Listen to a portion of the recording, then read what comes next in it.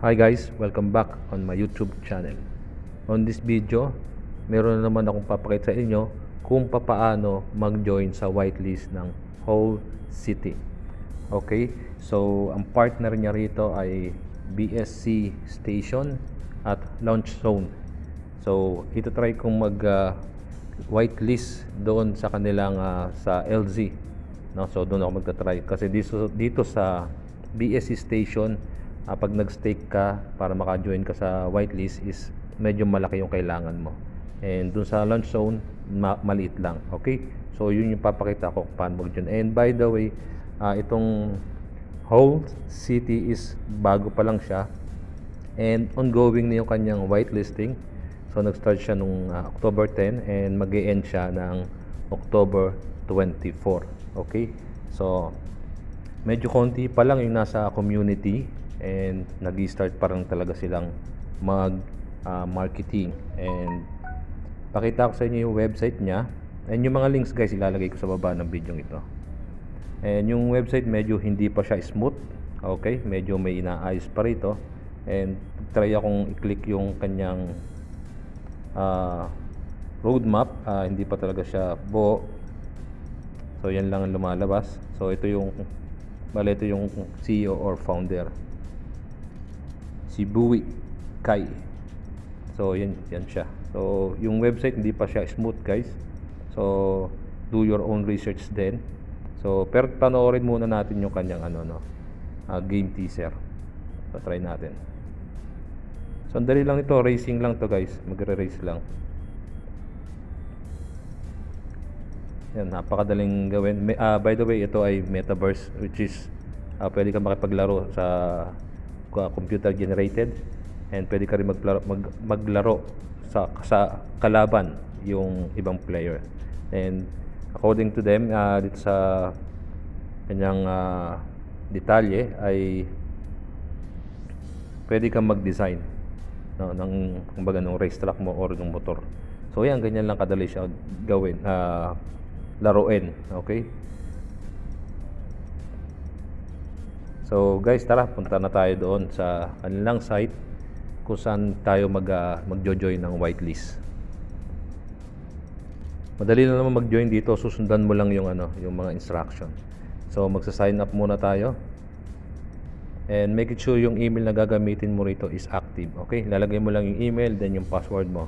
Then click me sign up, then magi-email sa'yo yan to confirm yung email na ginamit mo. Click mo lang yung sign up, pag nalagay mo na yung details. So ang next is i-click mo itong send verification. Okay puntahan mo ngayon yung email to verify. So ito na ngayon yung email. So i-click mo lang yung link na yan. And then open mo lang ulit yung browser na gamit mo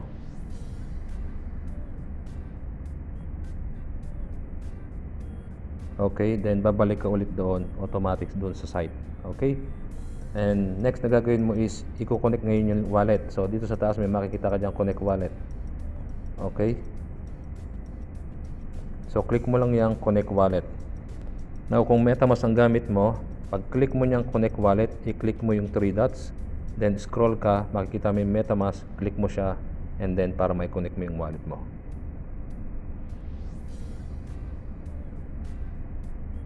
Okay. Then click mo si MetaMask.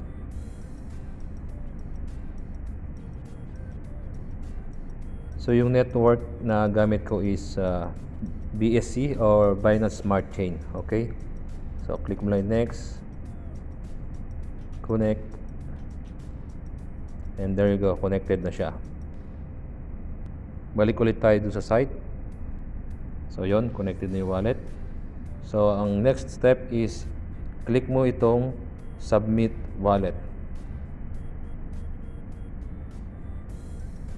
So yung wallet at email is registered na. So kailangan na lang sundan itong mga instruction dito.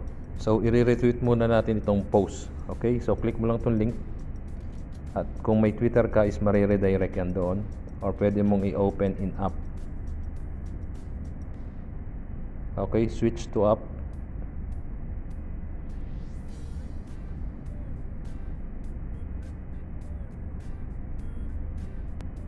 So ito yung post, i-retweet mo lang naman 'yan. Click mo lang ito. Retweet. There you go.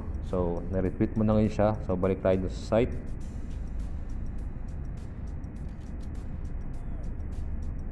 Okay, so ang next is pupunta naman tayo sa uh, the sower bot. Okay? Then, magre-reply tayo ng slash whitelist. So guys, yung whitelist is dapat uh, yung first letter niya yung W is maliit siya. So yan, so select lang natin yung whole city. Okay. Submit your email address. Okay. Yung ginamit mo sa pag-sign up, yun ang isasa- isi-send mo rito. So yun, na-send ko na yung uh, aking email and then lalabas dyan yung email address mo. This is your whitelist information. Nandiyan yung email address na ginamit mo and yung wallet. Okay? So ang gagawin mo lang dyan is i-click mo lang itong link to group. Okay? Pag-click mo niyan, magjo-join ka sa kanila, then balik ka rito, click mo tong check join. So ganun lang, okay?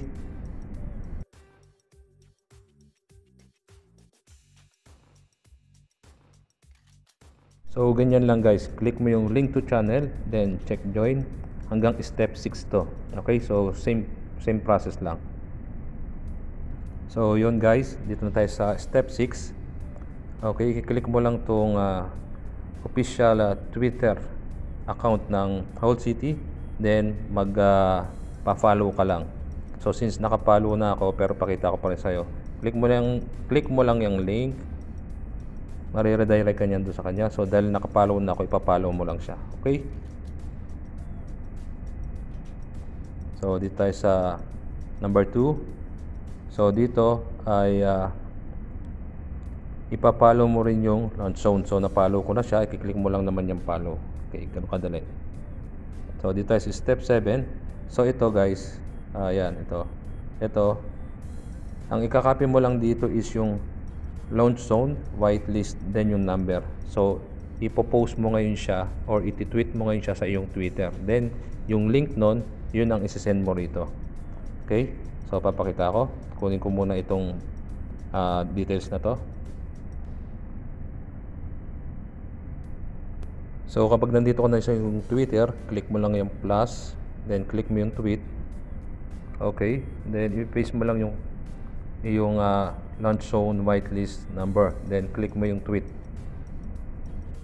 So, yon na-tweet mo na siya. So, ngayon, kukunin mo yung link ngayon ito. So, click mo lang yan. Then, copy link to tweet. Then, balik ka ulit sa Telegram.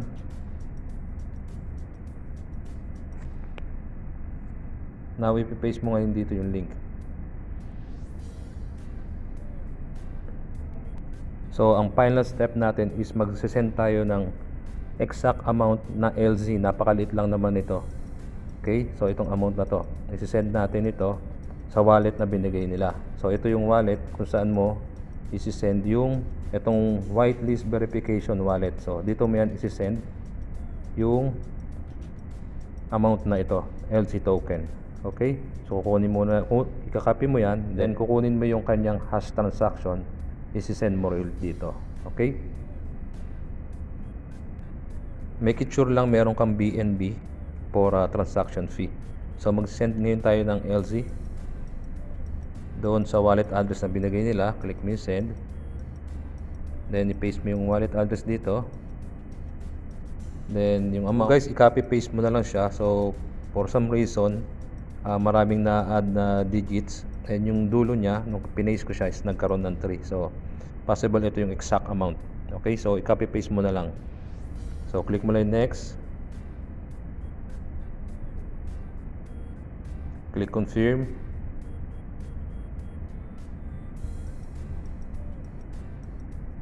Then kukunin natin yung ah, transaction hash.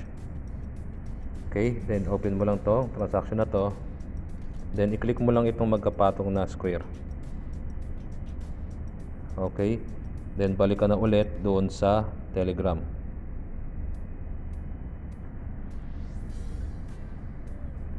Paste. Then, send. Yun, so naka-join na tayo ngayon sa kanilang whitelist. Okay, so ganun lang kadali ang mag-join sa whitelist ni Whole City. So, do your own research din kasi, yung kanyang site ay hindi pa talaga smooth. Okay? And wala pang gaanong details. And kung may mga tanong ka, ah, pwede ka naman mag-join sa kanilang mga social media account. So, nandyan sa baba ng video yung mga links. Okay? So, ganun lang guys, kadali ang mag-join. I hope nasundan mo ang short video ito and I hope na makatulong sa ito, you know, sa experience din sa pag-join sa mga whitelist. So, yun lang guys. Thank you so much for watching. Ah, doon sa ayuda natin is medyo matatagalan. Basta kung hindi yan ah, mapuno ah, 100 comments doon sa video kung saan kayo magko-comment Ah, on the in the end of this month ibibigay ko na yung ayuda na yan. Okay? So yun lang. Thank you so much for watching. Stay safe. God bless ating lahat. See you on my next video. Goodbye